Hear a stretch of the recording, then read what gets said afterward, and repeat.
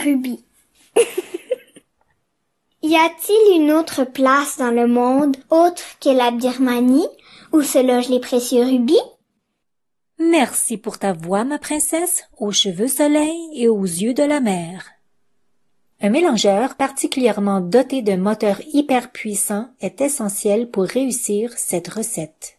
Une demi-tasse de crème de coco, si purement blanc, trois tiers tasses de betterave crue en cubes, l'ingrédient à la source de l'inspiration de la métaphore pour le rubis. 30 grammes de poudre protéinée à la vanille pour les muscles. du stevia en poudre au goût. Transformez le tout en une unification.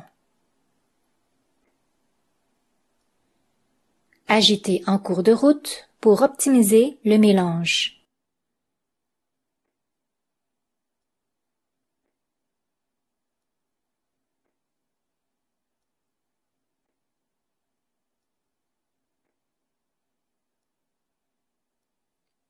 Transférez ce coulis rubis dans un joli bol à dessert. Ce régal d'une couleur profonde peut être réfrigéré avant d'être savouré. Contrastez ce beau rouge violet avec une cuillère de crème froide de coco blanc pour une version sans lactose. Optionnellement, pour satisfaire l'envie d'un gâteau à étage, choisissez deux tranches de pain. J'ai choisi cette fois-ci un pain à farine intégrale avec seulement 1% de gluten. Mes choix varient. Le pain sert de substitut à l'éponge gâteau.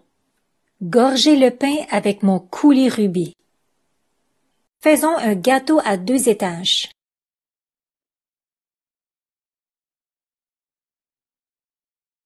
Êtes-vous prêt pour savourer pleinement cette gâterie hyper santé, goûteuse et sans aucune culpabilité?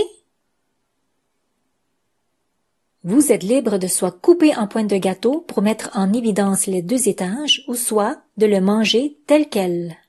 Bon appétit en vietnamien, on dit Mời các bạn ăn ngon. Et en langage de bébé. Mon colis